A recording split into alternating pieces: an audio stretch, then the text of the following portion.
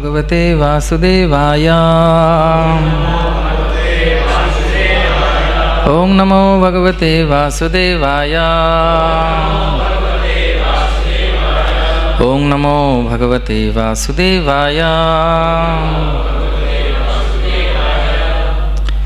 শ্রীমদ্ভাগবতম দশম স্কন্দ অধ্যায় পঁয়ষট্টি শ্রী বলরামের বৃন্দাবন পরিদর্শন শ্লোক নম্বর দুই তাই তো? পরিশুক্ত্যা চির উৎকণ্ঠই গোপৈ গোপর চ রাম অবাদ্য পিতর। আশীর্ভি অভিনন্দিতা। परीक्षित्या चिर उत्कण्ठै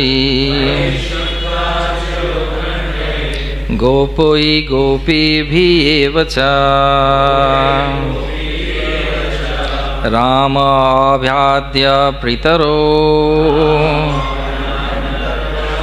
आशीर्भि अभिनन्दितः परिक्षिक्त्या चिर उत्कण्ठै गोपै गोपीभिः च रामभिवाद्य पितरो आशीर्भि अभिनन्दितः শব্দার্থ পরিক্ষিত্যা আলিঙ্গন করলেন চির দীর্ঘ সময়ের জন্য উৎকণ্ঠই উদ্বিগ্ন। গোপই গোপগণের দ্বারা, গোপীর্ভি গোপীগণের দ্বারা, এব বস্তুত চ ও রাম শ্রী বলরাম অভিবাদ্য শ্রদ্ধা নিবেদন করলেন। পিতরও তাঁর পিতা মাতাকে নন্দ যশোদা, আশীর্ভি আশীর্বচন দ্বারা। অভিনন্দিত। আনন্দের সঙ্গে অভিনন্দিত করলেন। অনুবাদ এবং তাৎপর্য শিল প্রভুপাত করতে শিল প্রভুপাত কি? অনুবাদ, দীর্ঘ বিচ্ছেদের উদ্বিগ্নতার পরে গোপগণ এবং তাদের পত্নীরা শ্রী বলরামকে আলিঙ্গন করলেন। অতঃপর শ্রী ভগবান তার পিতামাতাকে শ্রদ্ধা নিবেদন করলেন। এবং তারা আনন্দিত হয়ে আশীর্বচন দ্বারা অভিনন্দিত করলেন। তাৎপর্য, এই অবস্থার পরিপ্রেক্ষিতে শিল বিশ্বনাথ চক্রবর্তী ঠাকুর নিম্নোক্ত শ্লোকটি উপস্থাপন করেছেন। নিত্যানন্দ স্বরূপ হোপি প্রেম ত্যপ্ত ব্রজ সকাম। যজ কৃষ্ণ মিপত্যা যৎসাক রাম মুহুষ্ণতমা আমরা বারংবার শ্রী বলরামের বন্দনা করি, যদিও তিনি নিত্যানন্দ, নিত্য আনন্দের আদিপুরুষ তবু তিনি ব্রজবাসীদের জন্য তার প্রেমের মাধ্যমে ব্যথা অনুভব করলেন, করেন এবং তাই তিনি শ্রীকৃষ্ণকে ছেড়ে যাওয়ার ব্যথা নিয়েই ব্রজবাসীদের দর্শন করার জন্য চলে গেলেন।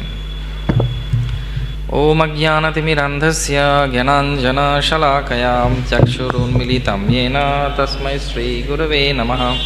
श्रीचैतन्यामनोविष्टं स्थापितं येन भूतले। स्वयं रूपा कदा मायं ददाति स्वपदान्तिकं। वन्देऽहं श्रीगुरु श्रीयुतापदकमलं श्रीगुरुं वैष्णवांश्च श्रीरूपं साग्रजातं सहगणा रघुनाथान्वितं त्वं सजीवं। साद्वैतं सावधूतं परिजनासहितं कृष्णचैतन्यदेवं। श्रीराधाकृष्णपादां सहगणललिता श्रीविशाखान्वितांश्च। नम ॐ विष्णुपादाय कृष्णपृष्ठाय भूतले। श्रीमते भक्तिवेदान्तस्वामिनिति नामिने। नमस्ते सारस्वती देवे गौरवाणी प्रचारिणे, निर्विशेष शून्यवादी पाश्चात्यदेशतारिणे नमो महावदन्नाय कृष्णप्रेम प्रदायते। कृष्णाय कृष्णचैतन्यनाम्ने गौरतिशे नमः। हे कृष्णा करुणासिन्धु दीनाबन्धु, जगतपते। गोपेश गोपिकान्त राधाकान्त, नमस्तुते। तप्तकाञ्चन गौराङ्गी राधे वृन्दावनेश्वरी विश्वभानु सुते देवी प्रणमामि हरिप्रिये। नीलाचलनिवासाय नित्याय परमात्मने, बलभद्रसुभद्राभ्यं जगन्नाथाय ते नमः। वञ्चाकल्पतरुभ्यश्च कृपासिन्धुभ एव च। पतितानां पावनेभ्यो वैष्णवेभ्यो नमो नमः। जय श्रीकृष्ण चैतन्य प्रभो नित्यानन्द।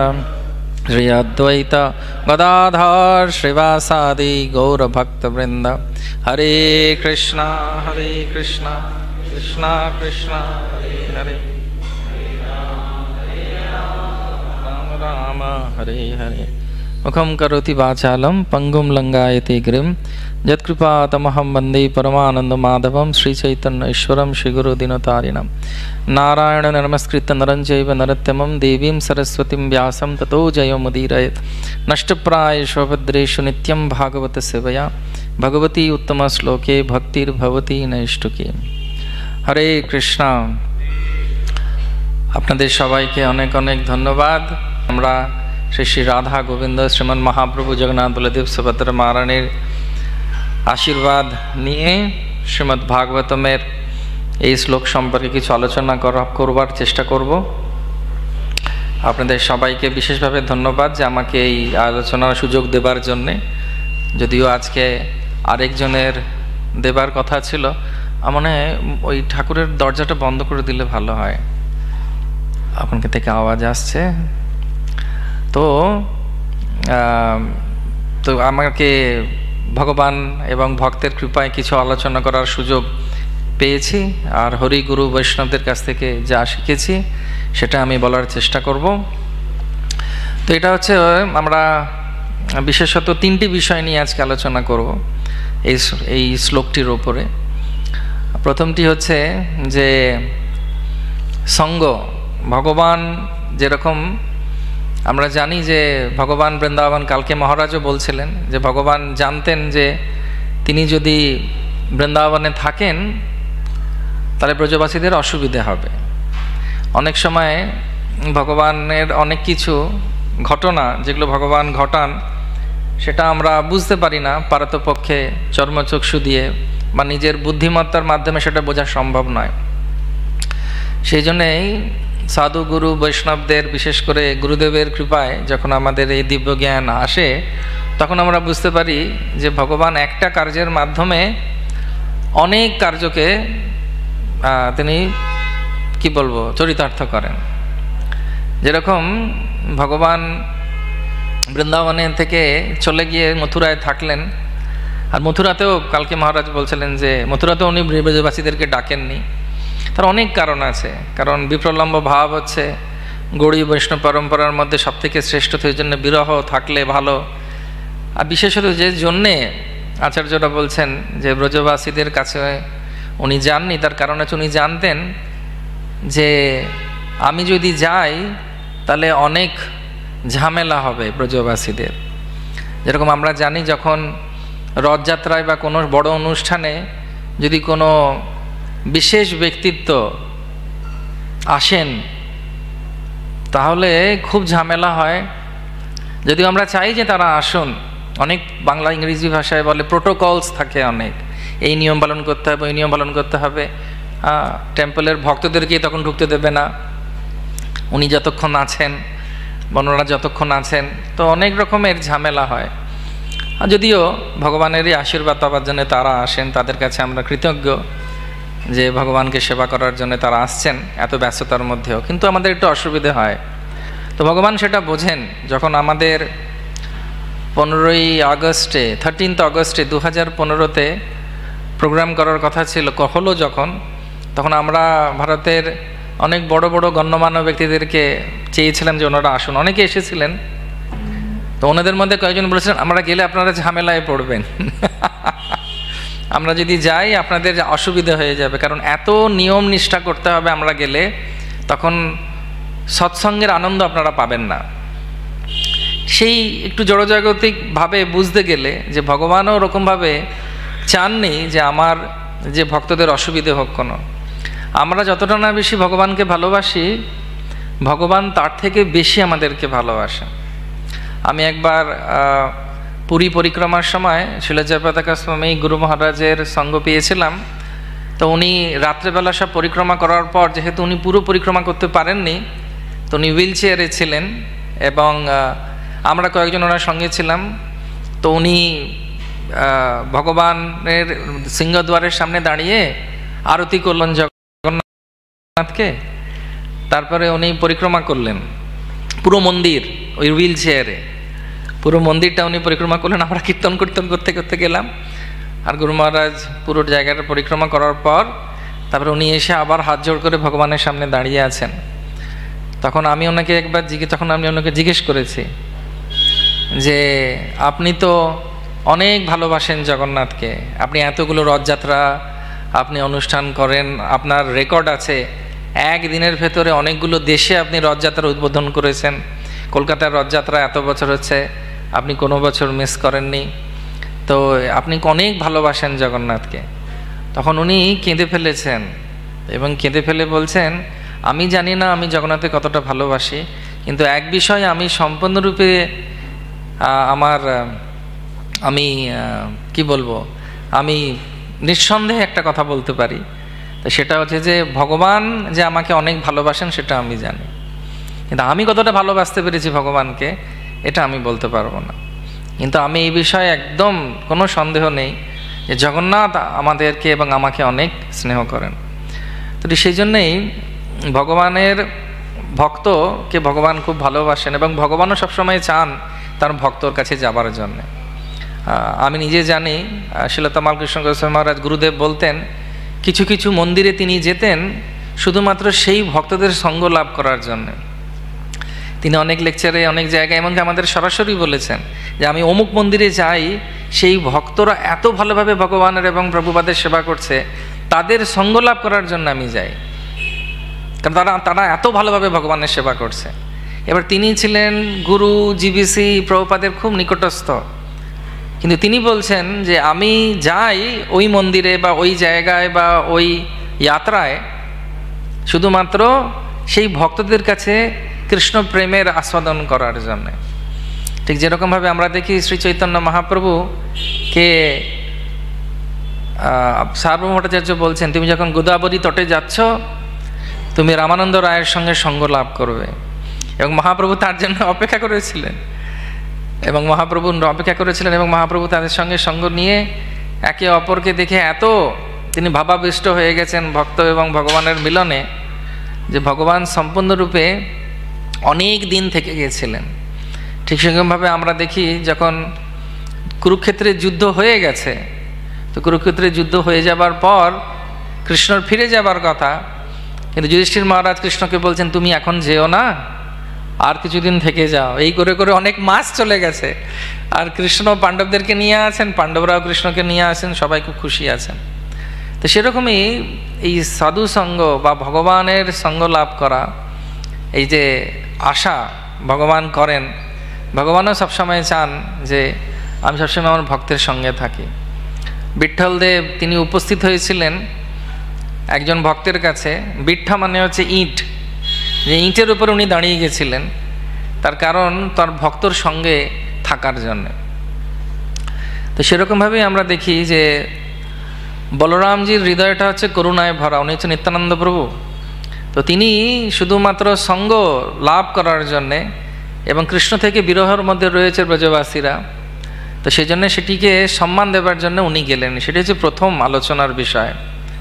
দ্বিতীয় আলোচনার বিষয় হচ্ছে, যদি খুব ভালো ভগবত ভক্তি করে যদি খুব ভালো ভগবত ভক্তি করে, তো সে যেখানেই করুক না কেন কৃষ্ণ ওখানে পৌঁছে যান বা তার ভক্তকে পাঠিয়ে দেন। বোঝা যাচ্ছে কি? তো রূপগোস্বামী পাদ বলছেন ভক্তি রসামিত সিন্ধুতে যে ভক্তির যে পাঁচটা গুণ আছে, তার মধ্যে একটা গুণ হচ্ছে যে কৃষ্ণকে আকর্ষণ করে। যেরকমভাবে প্রভুপাত উদাহরণ দিচ্ছেন, অনেক জায়গায় অনেকে প্রভুপাতকে প্রশ্ন করতেন যে, আমি কি ভগবানকে দেখতে পাবো? তখন প্রভুপাত বলতেন, তুমি এমন কাজ করো যে কৃষ্ণ তোমাকে দেখবেন। তার উদাহরণ দিতে গিয়ে প্রভুপাত বলতেন যে, যখন একজন মানে কোনো পাঠশালায় এটি ছেলে খুব ভালো পাঠ করছে, তখন তার শিক্ষক তাকে ডেকে বলেন তুমি আজকে এই অঙ্কটা শিখিয়ে দাও বা তুমি এই ব্যাখ্যাটা তুমি আজকে করে দাও। ঠিক সেরকমভাবেই আমরা যদি খুব ভালোভাবে ভগবত ভক্তি করি, অন্না বিলাসিতাং শূন্যং জ্ঞান কর্মাদি অনাবৃতম অনুকূল্যেন কৃষ্ণানুশীলনম ভক্তির উত্তমা। যদি আমাদের সব রকম উপাধি থেকে আমরা বেরিয়ে আসতে পারি, সর্বোপাধির বিনির্মুক্তম তৎপরত্বের নির্মলম ঋষিকেন ঋষিকেশ সেবনম ভক্তির উচ্চতে তো এইরকম যদি ভাব হয় আমরা এই শ্লোকগুলো বলি এই শ্লোকগুলো মুখস্থ করি যখন কেউ শ্লোকগুলো বলে তখন আমরাও বলি আমাদেরও মুখ নড়ে তাই না কিন্তু এই শ্লোকগুলোকে হৃদয়ঙ্গম করাটা হচ্ছে আমাদের জীবনের প্রকৃত উদ্দেশ্য তাহলে কৃষ্ণ আমাদের কাছে চলে আসবে আমরা কৃষ্ণর কাছে যাই না যাই, কৃষ্ণ আমাদের কাছে চলে আসবেন, বলরাম এভাবে চলে আসবেন। বৃন্দাবনের ব্রজবাসীদের একটা বড় গুণ ছিল কৃষ্ণ ছাড়া ওরা অন্য কিছু চিন্তা করতো না। স্মর্তব্য সততম বিষ্ণু বিস্মর্তব্য না কদান উচিত সর্ব অবস্থায় তারা সবসময় কৃষ্ণের কথাই চিন্তা করতেন। হুম? আমাদের অনেক সুযোগ আছে, কিন্তু সেই সুযোগটার সদ্ব্যবহার করছি কি না সেটা আমাদের বিষয়। তো সেরকম, এইরকম যদি কোনো ভক্তির মধ্যে বা ভক্তরা যদি আমরা হতে পারি, তাহলে কত আনন্দ হবে।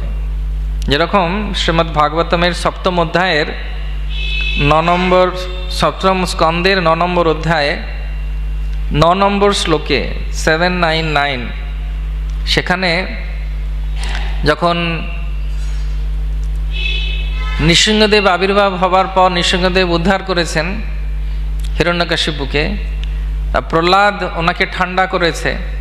করছেন স্তুতির মাধ্যমে, তো প্রহ্লাদ মহারাজ এখানে বলছেন, মান্য ধন অভিযান রূপ দৈহিক তপ শ্রুত শ্রুত অজ, তেজ প্রভাব বল পৌরশ, বুদ্ধি যোগা আরাধনায় আরাধনায় হি, ভবন্তি পরস্য পুংসাম ভক্ত্যা তুষাম ভগবান গজযুথপায়। খুব সুন্দর শ্লোক। তিনি বলছেন, প্রহ্লাদ মহারাজ বললেন, আমি মনে করি যে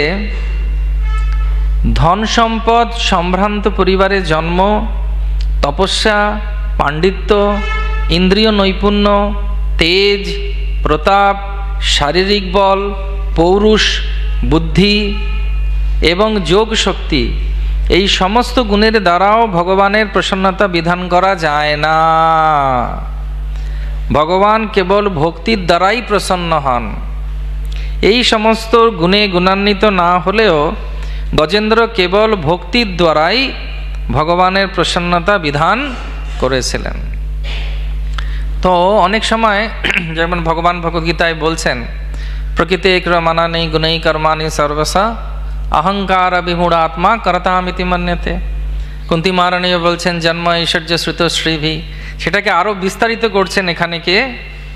না? প্রহ্লাদ মহারাজ। এক একটা করে আমরা দেখি যে এই জিনিসের জন্য আমাদের অহংকার হয়।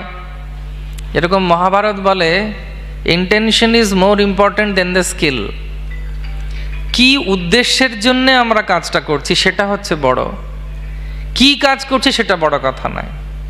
যেরকম এক জায়গায় একটি শ্লোকে খুব সুন্দর উদাহরণ দেওয়া হয়েছে, কৃষ্ণ আমাদের প্রেম দেখেন পারফেকশন বা নৈপুণ্যতা দেখেন না। এটা খুব সূক্ষ্ম। হয়তো আমরা খুব ভালোভাবে কোনো কিছু করার চেষ্টা করছি বা লোকে স্তুতি করছে আমাদেরকে দেখে, কিন্তু আমরা জানি যে আমরা কি জিনিস? হরে কৃষ্ণ। ওখানে তো কাউকে ঠকানো যাবে না। একজন অনেক ওপরে একটা মূর্তি বানিয়েছে, ভাস্কর বানিয়েছে, ভাস্কর্য। তো ভাস্কর্য বানাবার পর খুব সুন্দর ভাস্কর্যটা হয়েছে। তো নিচে থেকে দাঁড়িয়েও বলছে, ওর কারিগর যে সহকর্মীকে বলছে, ওটা ভেঙে ফেলতে হবে। বলছে, এত কষ্ট করে বানালে আবার ভাঙবে কেন? তার কারণ হচ্ছে ওটা তো সুন্দর লাগছে দেখতে, কিছু বোঝা যাচ্ছে না। বলছে, না, ওর কানের লতিটা একটু ভেঙে গেছে। বলছে, বারে বাবা, একশো ফুট উপরে ওই জিনিসটা দাঁড়িয়ে আছে। লোকে দেখতেই পারবে না যে কানের লতিতে কি হয়েছে। বলছে, কেউ দেখুক না দেখুক, আমার মন খচখচ করবে যে কানের লতিটা ভাঙা। হরে কৃষ্ণ। জগতের লোক বুঝতে পারবেন না কিছু। সে বুঝতে পারবে না যে মূর্তিটা কেমন বানিয়েছি। কিন্তু ওরা আমাকে স্তুতি করবে যে খুব সুন্দর হয়েছে। কিন্তু আমি তো জানি যে ওইটার ভাঙা হয়ে রয়েছে। তখন খারাপ লাগবে আমার। যদি সৎ হয় চালিয়ে দাও, কি আছে? অন্য কেউ হলে এরকম ভাববে। ঠিক সেরকমভাবেই এখানে প্রহ্লাদ মহারাজ বলছেন যে, ভালোবাসতে গেলে ভগবানকে ব্রজবাসীদের এই গুণগুলো ছিল, গুণটি ছিল। তারা শুধু ভক্তি করেছে ভগবানকে। সেই উদ্দেশ্যের জন্যই আসা। তো তিনি বলছেন, ধন সম্পদ, যখন কারুর ধন সম্পদ থাকে, তখন তার অহংকার হয়। আমি জানি না আমাদের না মন্দিরের নিচে লেখা উচিত নো মোবাইল আজকে প্রায় ছটবার মোবাইল বাজলো লোকের। তো আমার মনে হয় নিচে একটা বোর্ড লিখে দেওয়া উচিত, যখন আসবেন, তখন মোবাইলটা বন্ধ করে আসবেন। এটা একটা সম্মান ভগবানকে দেবার জন্যে। সবাইকে আমার সঙ্গে একমত? হ্যাঁ। আর যদি কারোর এবার মোবাইল বাজে, তাহলে আজকের মন্দিরের সব খরচা তাকে দিতে হবে। ঠিক আছে? সব খরচা তাকে দিতে হবে। আজকে যার মোবাইল এখন বাঁচবে আমি ব্যক্তিগতভাবে তার সঙ্গে কথা বলব। হরে কৃষ্ণ। এবার আর বাঁচবে না, আমি জানি। তো তো ভগবান বলছেন, প্রহ্লাদ মহারাজ বলছেন, তো প্রহ্লাদ মহারাজ বলছেন যে ধন ঐশ্বর্য, যাদের ঐশ্বর্য থাকে দেখবেন, প্রভুপাদ এক জায়গায় লিখছেন, অনেক ধনির বাড়িতে আপনি ঢুকতে পারবেন না। এখানে অনেক বাড়ি আছে। আর বিদেশে কিছু কিছু বাড়ি আছে, সেখানে লেখা থাকে ট্রেস পাসার্স আর হ্যাঁ? প্রসিকিউটেড মেরে ফেলবে। আমার প্রপার্টিতে ঢুকলে মেরে ফেল কারোর বাড়িতে গেলেন ঢুম, মরে গেল। চিন্তা করুন তো, কি বিপজ্জনক। ভারতবর্ষে আগে লেখা থাকতো, অতিথি দেব ভয় এরকম লেখা থাকতো। মানে ভারতবর্ষ হ্যাঁ আগেকার দিনে লোকে জিজ্ঞেস করতো, খাবার আগে? এখন ভুল করেও সেটা করবেন না। যে কেউ কি না খেয়ে আছো? তাহলে নিজে খেয়েই ক্রান্তিদেব হয়ে যেতে হবে। হরে কৃষ্ণ। কিন্তু ধনীদের বাড়িতে ঢোকা যাবে না। কেন ঢোকা যাবে না? তার কারণ হচ্ছে লেখা আছে। আর তা নাহলে কিছু না লেখা থাকলেও দরজার গোড়ায় দাঁড়িয়ে থাকে তা আপনি ঢুকতে গেলেই আপনি চিন্তা করবেন, ধুতি পরে আছি। যদি কামড়ে দেয়, অনেকটা মাংস চলে যাবে। তার থেকে না যাওয়াই ভালো। একবার আমি যখন প্রথম মন্দিরে মানে জয়েন করেছি মধুয়া প্রভু ছিলেন এখানে। তা আমরা মধুয়া প্রভু আমরা একটা প্রজেক্ট করলাম। তখন আমার কাছে সেবা ছিল না মন্দিরে। তো সেবা যখন ছিল না, তখন আমরা মধুয়া প্রভু আর আমি খুব সময় কাটাতাম। তো প্রভু সেবা করতেন ঠাকুরের আমার এক একটা প্ল্যান আসতো মাথায়। কি করা যাবে, কিছু একটা করতে হবে। তখন কোনো ডিপার্টমেন্টই দেয়নি আমাকে। খুব বিন্দাস ছিলাম, খুব মজা তখন। কোনো ডিপার্টমেন্ট নেই, কিছু নেই। যা ইচ্ছে করো তখন, কি বলে, কি পিরিয়ড বলে যেন ওটাকে ইংলিশে যাই হোক হ্যাঁ? বেঞ্চে আছি বোধ বেঞ্চে ছিলাম, আশ্রমে বেঞ্চে ছিলাম। তো তখন প্রভু প্রভু হঠাৎ করে একদিন বললেন, একটা কাজ করো, চলুন আমরা প্রভু, আমরা নেবার স্পিচিং করি। আর আমাদের নেবাররা তো সব, হরে কৃষ্ণ, সব হাইফাই সবাই। আলাম ঢুকতে দেবে? বুঝি চলুন না, চেষ্টা করে দেখা যাক না। গীতা যদি না নেয়, একটু কিছু প্রসাদ দিয়ে চলে আসব। তো তখন অনেকের বাড়িতে গিয়ে এই অভিজ্ঞতা হয়েছিল। হুম, যেমন কোথাও দারোয়ান আমাদেরকে দেখে একটু বকা দিয়ে চাড়িয়ে দিয়েছে। কোনো কোনো জায়গায় দরজাই মানে লেখা আছে ওখানে, এখানে বেল টিপুন, ওখানে বলতে হবে কি উদ্দেশ্যের জন্য এসেছি, বলতে হবে সেলসম্যান নয়, আমি এই কারণে যে তাদেরও তাদের ইচ্ছে হলে আপনাকে ঢুকতে দেবে। এই জন্য ধনসম্পদ থাকা খুব অসুবিধে। সম্ভ্রান্ত পরিবার জন্ম। এটাও একটা বাধা ভক্তির পথে। সম্ভ্রান্ত পরিবারে জন্মগ্রহণ করলে কি হবে? হ্যাঁ তার সুযোগ নেওয়া উচিত। কিন্তু অনেকে কি বলে, গর্ব হয়ে যায় অনেক পাণ্ডিত্যের জন্যে, সম্ভ্রান্ত পরিবারের জন্যে হ্যাঁ। তো যতই কিছু হোক না কেন, আমি কিন্তু এই বাড়ির ছেলে, তাই না? তো বাঙালি বাঙালি অনেক বাঙালি জমিদার মানে বাড়ি দেখবেন, আমাদেরকে অনেকে দান করতেও চান। তো প্রথম যে যিনি জমিদার যিনি করেছিলেন, সম্ভ্রান্ত পরিবারের ওইটা থাকি, থেকে যায়, হরমটা, দম্ভটা। তো প্রথম যিনি থাকেন, তিনি হচ্ছেন কেনারাম। উনি কিনবেন সব জমি, জায়গা, কেনারাম। তারপরের জেনারেশন হচ্ছে ভোগীরাম। বাবা করে গেছে, ছেলে ভোগ করছে, আয়েস করছে, মজা করছে। তারপরে হচ্ছে বেচারাম। সে বেচে বেচে বেচে বেচে জীবন কাটিয়ে দেবে। চতুর্থ হচ্ছে দুঃখীরাম। তার কাছে কিছুই নেই, বাড়িটা পড়ে আছে, ভাঙা বাড়ি। কলকাতায় অনেক রকম বাড়ি দেখবেন। ভাঙা বাড়ি পড়ে আছে, আর ভেতরে জমিদার বাবু বসে আছেন। হুম, লুঙ্গি আর টি শার্ট পরে। ঠিক আছে, আর কিছু নেই। দাদা, বাবা বিক্রি করে দিয়েছে, কিছুই নেই আর। উনি শুধু ভাবছেন যে কীভাবে মেনটেন হবে, কীভাবে চলবে, আমি তো বুঝতে পারছি না। তবু দম্ভ যায় না। না, আমি কেন যাব? আমাকে নেমন্তন্ন না করলে যাব না। আমাকে সম্মান দিয়ে কার্ড দিয়ে ডাকতে হবে। এটা সম্ভ্রান্ত পরিবারে জন্মগ্রহণ, তপস্যা। অনেকে তপস্যা করে অহংকার এসে যায়, ভগবত ভক্তি পায় না। একবার একজন যোগী তপস্যা করে, চান করে উঠেছেন, ওনার মাথায় অনেক জটা। তো জটা তো উনি, জটা কীভাবে শুকোয়? গামছা দিয়ে তো জটা শুকোনো যাবে না। তো উনি গঙ্গায় স্নান করে উঠে দাঁড়িয়েছেন, আর জটা, জটাটাকে বেঁধে দাঁড়িয়ে আছেন, কোমরে হাত দিয়ে যে শুকোচ্ছে ওটা। ঠিক আছে? সেদিক থেকে আমরা অনেক নিশ্চিন্ত। তো তো জটা যখন শুকোচ্ছে দুটো পাখি ওই জটাটাকে পাখির বাসা ভেবে ডিম পেড়ে চলে গেছে।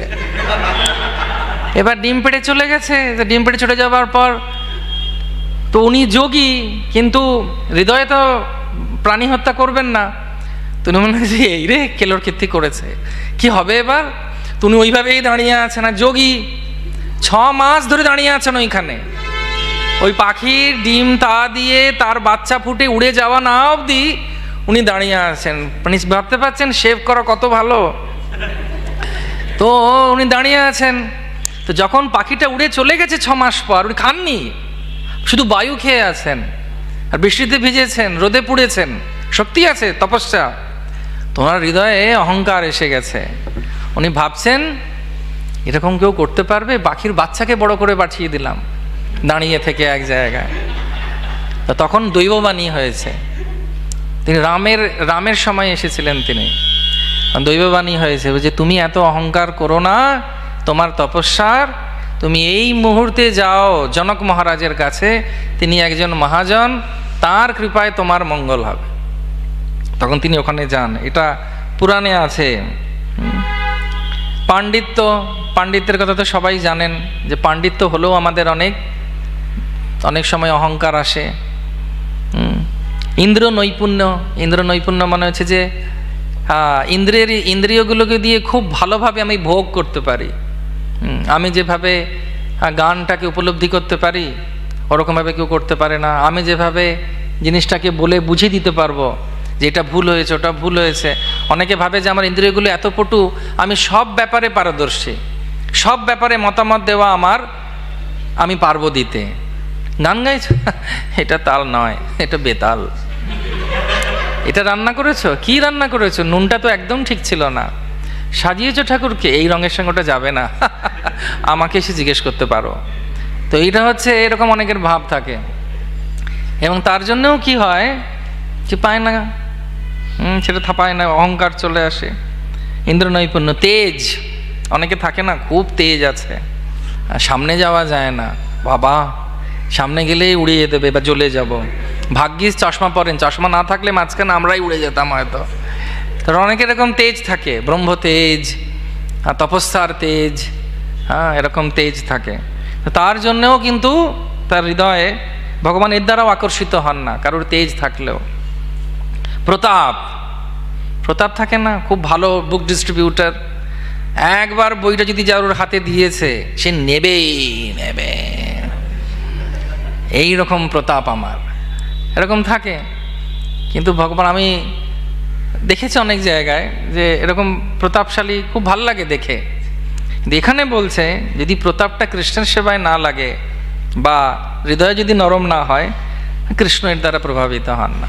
অনেক প্রতাপী, কিন্তু কৃষ্ণ সব থেকে বেশি প্রতাপী। কিন্তু কৃষ্ণ এত বড় প্রতাপী হলেও কৃষ্ণ দুটো গুণের জন্য কৃষ্ণ ফেমাস সরলতা। আর যেহেতু তিনি সরল, তার কাছে সবাই যেতে পারে অ্যাপ্রোচেবল শারীরিক বল, পৌরুষ, বুদ্ধি, যোগ শক্তি এই দিয়েও কিন্তু ভগবানকে সন্তুষ্ট করা যায় না। যেমন বাবা অনেকে ভাবে যে আমি খুব তপস্যা করছি এবং এই তপস্যার মাধ্যমে আমি কৃষ্ণকে পেয়ে যাব। কিন্তু দুগ্ধভোজী একজন ব্রহ্মচারী ছিল, চৈতন্য মহাপ্রভুর লীলায়। তো সে ভাব সেও ভেবেছিল যে মহাপ্রভুকে ওইভাবে পাওয়া যাবে। কিন্তু যদি প্রেম না থাকে, আর যদি আমাদের হৃদয় পরিবর্তন না হয়, এই সব কিছুর মাধ্যমে, এই সব কিছু থাকা কোনো অসুবিধে নেই। থাকতে পারে, বা এক একটা জিনিস আমার কাছে থাকতে পারে তার মাধ্যমে কৃষ্ণকে সন্তুষ্ট করতে হবে সরলভাবে থেকে। ভগবান একমাত্র পছন্দ করেন ভক্তি। দক্ষিণ ভারতে একজন খুব বড় সাধক ছিলেন। তিনি শ্রীমদ্ ভাগবতমের প্রত্যেকটি অধ্যায়কে গান রূপে প্রতিদিন রচনা করতেন এবং ব্যাকরণে পারদর্শী ছিলেন। প্রতিদিন রাত্রেবেলা কৃষ্ণ ওনার স্বপ্নে আসতো, আসতেন, এসে ওনার ব্যাকরণগুলো কোথায় কোথায় বিভক্তি, ভক্তি ভক্তি যুক্তি, ক্রিয়া, ভুল হয়েছে ওটা বলে দিতেন। তা একদিন ওনার কাছে একদিন সাধারণ ভক্ত এসেছে, সে একটা কবিতা লিখে এনেছে। তো সে যখন কবিতা লিখে এনেছে, সে বলেছে তোমার কবিতা দেখার আমার সময় নেই, আমাকে অনেক কাজ আছে। সেই রাত থেকে কৃষ্ণ ওনার স্বপ্নে আসা বন্ধ করে দিলেন। তো অনেক মাস পরে উনি অনেক রন্ধন করলেন রঙ্গনাথের কাছে। আমার কি ভুল হয়েছে? কি ভুল হয়েছে আমার? তখন একদিন কৃষ্ণ কৃপাকর ওনাকে বললেন, তোমার বিভক্তির থেকে ওর ভক্তিটা আমার কাছে অনেক প্রিয়। এত অহংকার তোমার কিসের? ঠিক সেরকমভাবেই আমরা দেখি যে বলরামজির একমাত্র উদ্দেশ্য ছিল এই সমস্ত ভক্তদেরকে আনন্দ দান করা, যাদের হৃদয়ে একমাত্র উদ্দেশ্য হচ্ছে কৃষ্ণ কীভাবে সন্তুষ্ট করো। আমরাও মন্দিরে এসেছি, প্রভুপাদের কাছে এসেছি। আমাদের একমাত্র উদ্দেশ্য হওয়া উচিত কীভাবে কৃষ্ণকে সন্তুষ্ট করব। আমাদের আর কোনো উদ্দেশ্য থাকা উচিত নয়। তৃতীয় জিনিস যেটা, সঙ্গ, শুদ্ধ ভক্তি, এবং তৃতীয় যে জিনিসটা যার জন্যে আমরা আজকে এই আলোচনার মধ্যে ইয়ে করেছি, সেটা হচ্ছে যে ভগবান বলরামজি এসেছিলেন উৎসাহ দেবার জন্যে, সান্ত্বনা দেবার জন্যে। তাই না? যে চিন্তা করো না, কৃষ্ণ আসছে। তো ঠিক সেরকমভাবেই এবং তিনি বলছেন যে, আমি এসেছি এবং কৃষ্ণ আর বলরামের মধ্যে কিন্তু সেরকম কোনো পার্থক্য নেই, রং ছাড়া। প্রপাত বলছেন এবং শাস্ত্রেও বলছেন ইনি হচ্ছেন কালো আর উনি হচ্ছেন ফর্সা। উনি হচ্ছেন চাঁদের মতো রং আর ইনি হচ্ছেন কী বলে, তমাল বৃক্ষের মতো বা মেঘের মতো, ওনার মতো ওনাকে দেখতে। এই দুটো শুধু পার্থক্য, এছাড়া আর কিছু নেই। তো বলরামজি এসেছেন? বলরামজি কেন এসেছেন? না, বলরামজি উৎসাহ দেবার জন্য এসেছেন। বলরামজি সঙ্গ নেবার জন্য এসেছেন, সঙ্গ দেবার জন্য এসেছেন। তো সেজন্য আমাদেরকেও বোঝা উচিত যে আমরাও যেরকমভাবে ভগবত ভক্তিতে এগিয়ে যাবার সুযোগ পাই, আমরাও যখন কারুর জীবনে আসি তাকে সঙ্গ দেবার জন্যে, বা কারোর কাছ থেকে সঙ্গ নেবার জন্যই তো আমরা আসি। এটা যেন সম্পূর্ণরূপে আনন্দময় হয়। যেরকম সবাই আনন্দে আশীর্বাদ দিচ্ছেন, আনন্দ পাচ্ছেন। তা আমরা যখনই কারোর সঙ্গে মিলি, কোনো ভক্তর সঙ্গে, তাকে উৎসাহ দেওয়া উচিত কৃষ্ণকে ভালোবাসার জন্যে। সেই রকম কথাই বলা উচিত। অনুদ্বেগম করম বাক্যম সত্যম প্রিয়ম হিতম চজত স অভ্যাস যোগেনা বাগময়ম তপ উচ্ছতে আমরা যখন একে অপরের সঙ্গে দেখা করি, কি কথা বলি? অনেক দিন পর দেখা হলো। প্রথমে ভালো আছো? কেমন আছো? ব্যাস, তারপর শুরু হয়ে গেল লক্ষ্মীর পাঁচালি। হরে কৃষ্ণ। এই অসুবিধে, ওই অসুবিধে, এই ম্যানেজমেন্ট ওই প্রবলেম এই প্রবলেম এইটা, ওটা ওটা। তাহলে উৎসাহ কে পাবে? কীভাবে চলবে?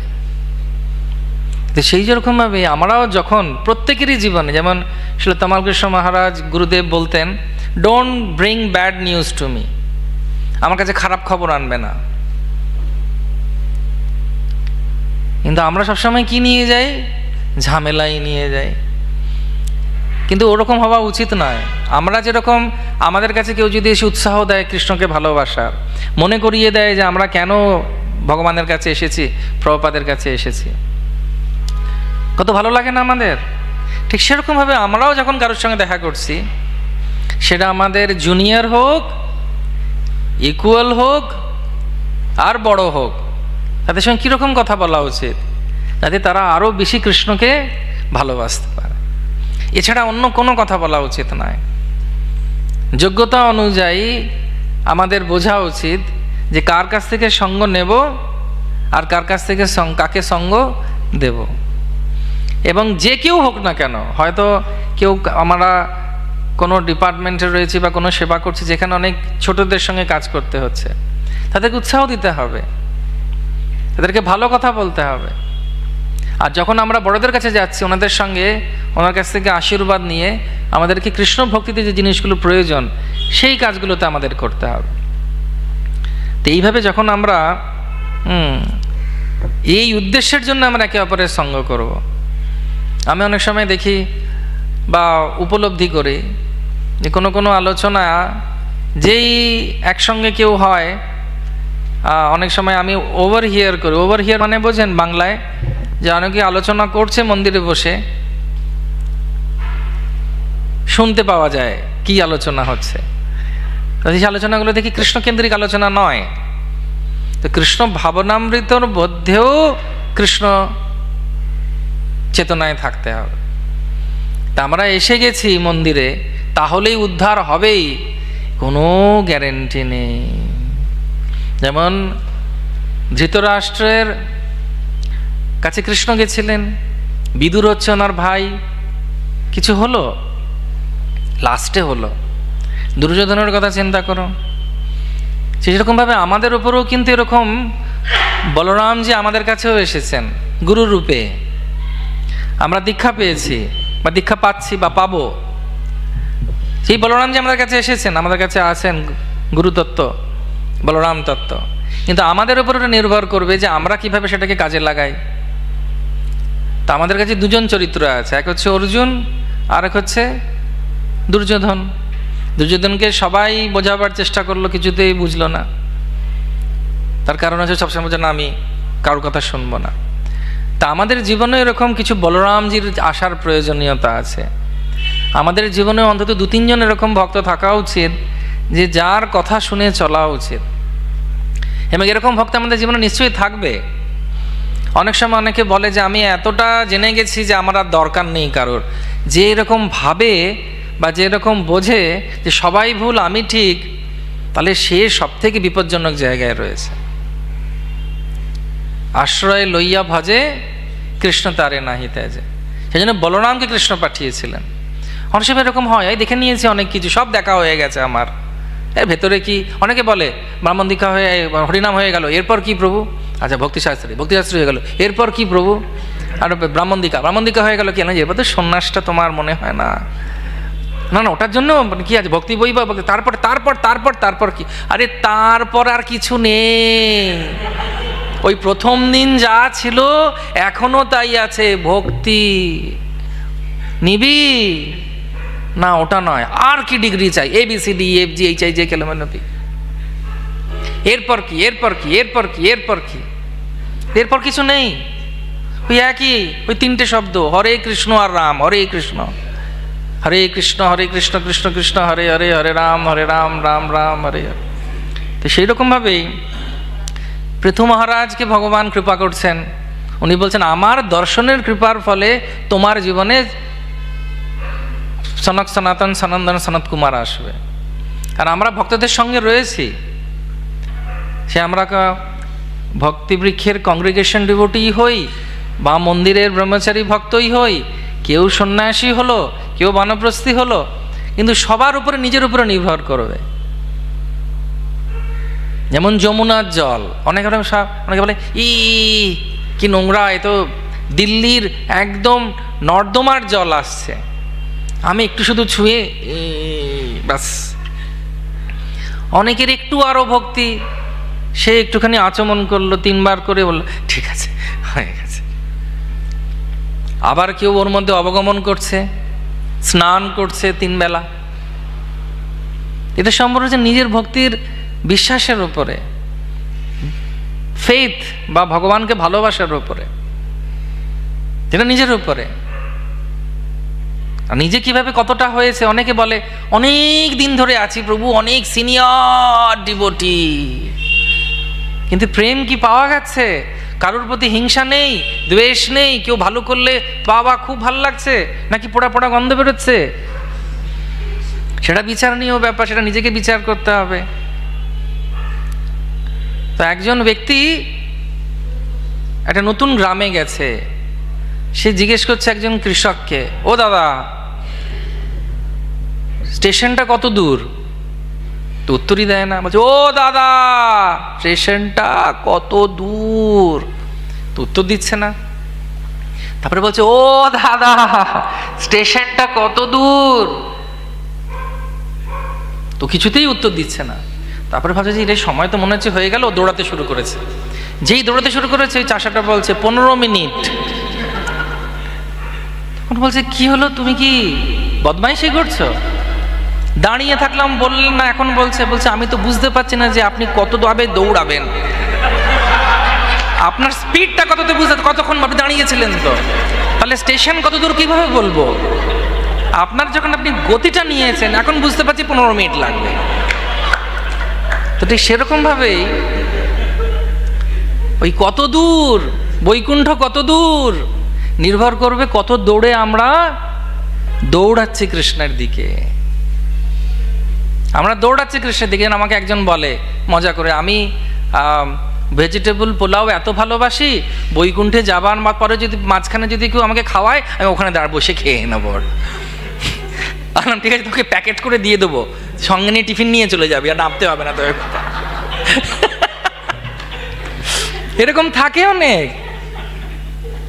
ইচ্ছা এত সুপ্ত, আমরা হাসছি বটে। একজন দেহ রাখছিলেন বৃন্দাবনে সেই সময় আমরা ছিলাম, তো ওনাকে জিজ্ঞেস করা হয়েছে, আপনার কি ইচ্ছে আছে? শেষ। উনি বলছেন, টমেটো গোলমরিচ দিয়ে খাব। না, এটা একটা ঘটনা, সত্যিকারের ঘটনা। তো সেই জন্য ও দাদা, স্টেশন কত দূর? আপনি আগে লাগান দৌড়টা, তারপরে বলব কত দূরে যেতে পার। তো সেরকম এই কথাটা বলে যুক্তিযুক্ত নয়। যে ভগবান, এতদিন আছি ভগবানকে পাচ্ছি না কেন মনের মধ্যে? কারণ দৌড়ানোটা হচ্ছে না। উল্টো দিকে দৌড়াচ্ছে, কৃষ্ণের দিকে আসছে। আমি ওদিকে দৌড়াচ্ছি। দূরে আরও দূরে দূরে, আরও দূরে হয়ে যাও। সেই জন্য আজকের আলোচনার তিনটে বিষয় আমি আলোচনা করলাম। সঙ্গ। ভগবানও চান আমাদের সঙ্গ থাকার জন্য। ভগবান সবসময় চান যে ভক্ত যেরকম চায় ভগবানের কাছে থাকতে, ভগবানেরও সবসময় ইচ্ছা আমি ভক্তর কাছে থাকি। দ্বিতীয় আমরা আলোচনা করলাম, কৃষ্ণর যারা শুদ্ধ ভক্ত, তারা কৃষ্ণকে আকর্ষণ করেন। বৈকুণ্ঠ থেকে নামিয়ে এনেছেন চৈতন্য মহাপ্রভুকে কে? অদ্বৈত আচার্য। হুঙ্কার দিয়ে। ঠিক সেরকমভাবে আমাদের হৃদয়ের মধ্যে থেকেও যখন প্রহ্লাদ মহারাজের আমরা শ্লোক পড়লাম সপ্তম অধ্যায়ের, যখন যত কিছুই থাকুক না কেন, এটা দিয়ে কৃষ্ণ আমাদের দ্বারা মানে যতই লোক দেখানি বলে না, লোক দেখানি বা বাহ্যিকভাবে যা কিছুই করি না কেন, কৃষ্ণ জানেন ভেতরে কি আছে। কিন্তু ভেতরটা যদি একদম নির্মল হয়, তখন কৃষ্ণ সবসময় পাশে থাকবে। উনি চলে আসবেন সব কিছু ছেড়ে। যেরকম বৃন্দাবনে চলে গেলেন কে? কৃষ্ণকে ছেড়ে চলে গেলেন বলরাম। কোথায়? না, কৃষ্ণ ভক্তদের কাছে। তৃতীয় আমরা আলোচনা করলাম কি? যে যখনই আমরা কোনো ভক্তের সঙ্গে দেখা করব বলরামজি উৎসাহ দিচ্ছেন কৃষ্ণ ভাবনাতে এগিয়ে নিয়ে যাওয়ার জন্য সবাইকে। ঠিক সেরকমভাবে আমরাও যখন অনেক দিন পর কারোর সঙ্গে দেখা হচ্ছে, বা রোজ যখন আমরা কারোর সঙ্গে দেখা করছি, এই যে প্রভুপাত বলতেন আমাদের একে অপরকে দেখা করলে কি বলতে হয়? হরে কৃষ্ণ, গোবিন্দ হরিবোল রাধে রাধে, শ্যাম শ্যাম। এরকম বলে না বৃন্দাবনে? তার কারণটা কি? তার কারণটা হচ্ছে যাতে সবসময় কৃষ্ণ কথা আমরা বলতে পারি। এবং পরবর্তী পর্যায়ে আমরা যেটা আলোচনার সার পেলাম, সেটা হচ্ছে আমাদের জীবনেরও আমরা অনেক বলরামজির কৃপা পেয়েছি। আমরা বলরামজির অনেক আশীর্বাদ পেয়েছি। সেই জন্য আমরা গুরু পরম্পরা ধারায় রয়েছি ছিল প্রভুপাদের সঙ্গে রয়েছি। প্রভুপাদের শিষ্যরা আমাকে কৃপা করেছেন, ভক্তরা আমাদের কৃপা করেছেন। কিন্তু আমাদের হৃদয় যদি নিজেরা আমরা ঠিক না করি, ডাক্তার তো প্রেসক্রিপশন দিয়ে দিয়েছে। কিন্তু যদি আমরা ঠিকভাবে মেনে না চলি, তাহলে সেটা কার উপরে নির্ভর করবে? আমাদের উপরে নির্ভর করবে। তা আজকে এই অবধি আমরা আলোচনা করব শ্রীমৎ ভাগবতম কি? সমবেত গৌর ভক্তবৃন্দ কি? গৌর প্রেমানন্দে Hari Hari thank you very much